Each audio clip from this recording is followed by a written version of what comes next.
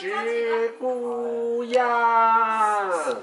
walking on the ancient streets of Lijiang Old Town, you will undoubtedly hear the wonderful Naxi ancient music, the traditional Naxi classical music, that is regarded as a living fossil of Chinese music.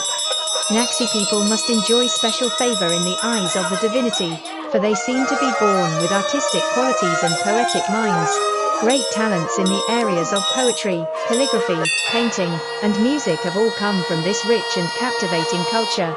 A crystallization of Taoist rite, Confucian ceremony, and the literary lyrics, poetic topics and musical tones of the Tang, Song and Yuan dynasties.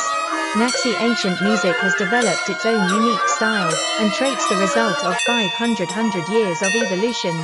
It originally included three parts, Baisha fine music, Dongjing music, and Huangjing music, the last of which has long been lost in the river of time.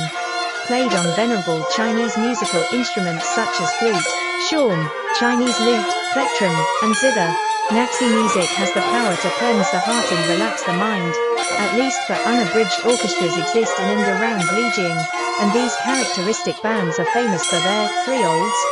First, old men, most of the players are over 70 years old. Second, old musical instruments, antiques dating back more than 100 years. Third, old songs, all are antiquated classical music. Members of the bands are drawn from all kinds of occupations including teachers, artisans, farmers, butchers, clerks,